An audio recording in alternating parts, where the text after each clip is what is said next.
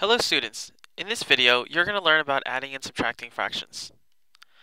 So the purpose is that at the end of this lesson, you should be able to simplify expressions by adding or subtracting fractions. So let's get started. Adding and subtracting fractions are very simple, but you have to look at them in a few different ways. So on this slide, we are going to look at adding and subtracting fractions with the same base or the same denominator. So to make that easier, I've made a small little flowchart. It says, do they have the same denominator is the question. If it's a yes, and that's what we're going to deal with on this slide, then you just add those numerators across.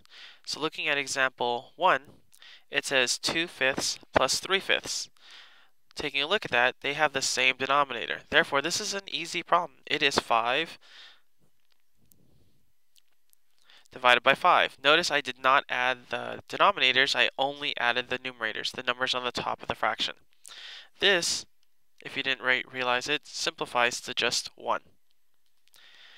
Number 2 is 4 ninths, 4 sevenths plus 9 sevenths. Again, same denominator, so we are going to add those numerators across, and you are left with 13 sevenths. Now, be, I realize that it is a improper fraction, but I would like for you to leave it in that fashion because it's going to help us a lot more later on. Example 3, same idea. We're subtracting this time, so it's 5 minus 7 fourths, which is negative 2 fourths.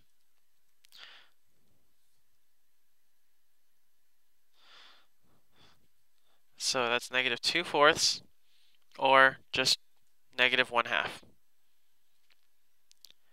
So now let's look at adding and subtracting fractions with a different base or a different denominator. So this answers the question, do they have the same denominator? We're only looking at the no's for now. So if you look at example 1, it says 3 fourths plus 5 eighths. Clearly their denominators are not the same. One is 4, one is 8. So in this instance, we're looking for them to have the least common denominator. So if it's easier, make a list for the 4s of what their multiples are. So they're 4, 8, 12, 16, etc.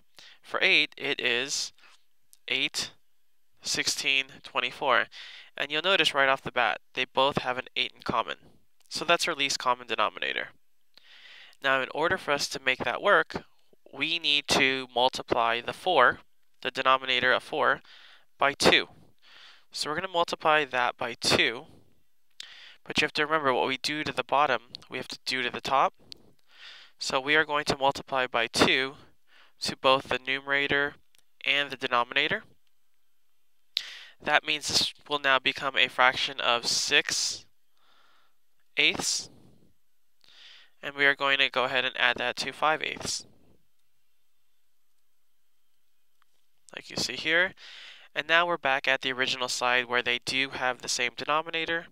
So we're going to go ahead and add the numerators across, and that gives us 11 eighths. So notice here, I'm going to change it back to black. The only thing that differed,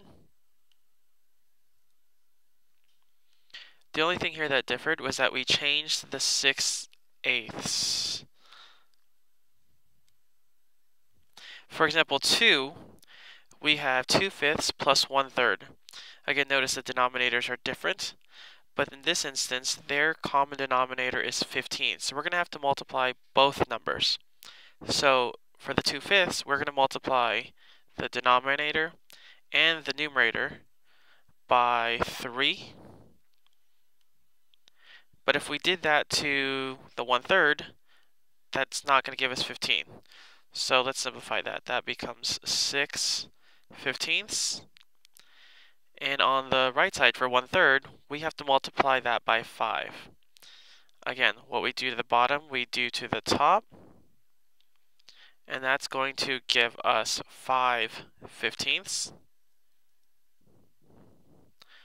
And now this should be an easy problem. 6 plus 5 is 11. And we're left with 11 fifteenths. Example 3 we have 5 6 plus minus 2 ninths. So notice these two have very similar numbers, which means their multiples should run into each other. So we'll make a list to make it easier. So that's 6, 12, 18, 24, 30, and there's more. For 9, it is 9, 18, 27, and 36. But you'll notice they have an 18 in common, so that's what we need to shoot for. In order to make the 6 an 18, we have to multiply that by 3. And again, what we do to the bottom, we do to the top. That gives us 15 eighteenths. And for the right side, 2 ninths, we're going to have to multiply that by 2. And again, what we do to the bottom, we do to the top. So now we're left with minus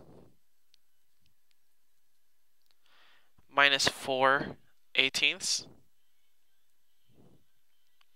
And now it's just a basic subtraction problem. 15 minus 4 is 11 eighteenths. And that's your final answer. That's all for now. Or try these problems and we'll take a look at them tomorrow. That's all for now. I'll see you guys next time.